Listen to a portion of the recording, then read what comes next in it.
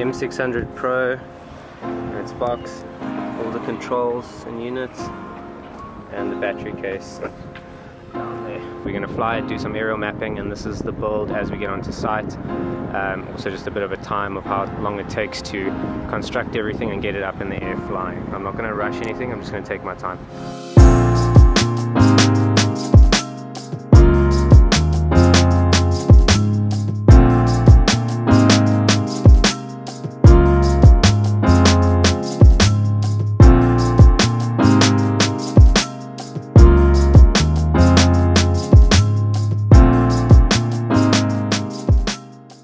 Everything looks good. I've got a warning sign on the camera. Um, I'm not sure if I'm having issues with my Z3 camera, but it is pointing down. There is image coming through and it's allowing me to fly. So I'm going to take off now.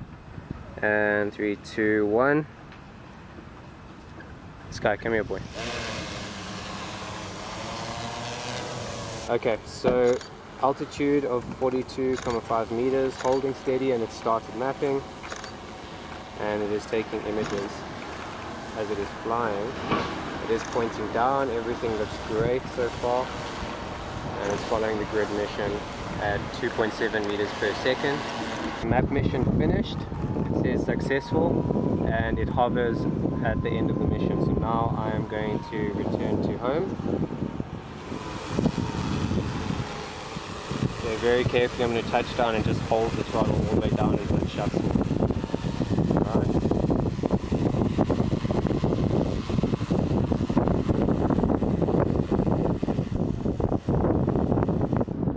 DJI Go app and we're going to test out this camera and the thermal imaging setup so that we have video feed of the normal video from the Z3 camera and zoom capabilities and thermal imaging at the same time. On the, the Black Pearl monitor we have the um, thermal imaging camera with its own remote control for and gimbal independent to the Z3 and here's the control for it.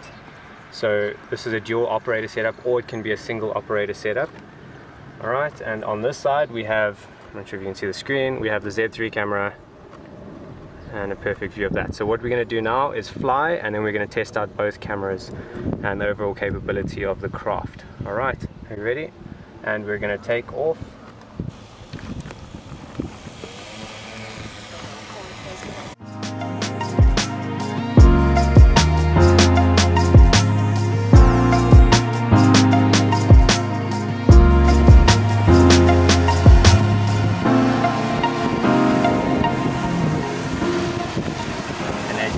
on the screen.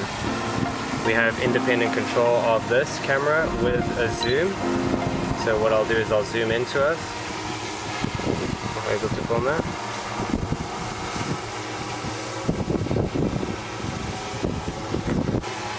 And there we are. And the thermal imaging pointing the other way or it can point in the same direction.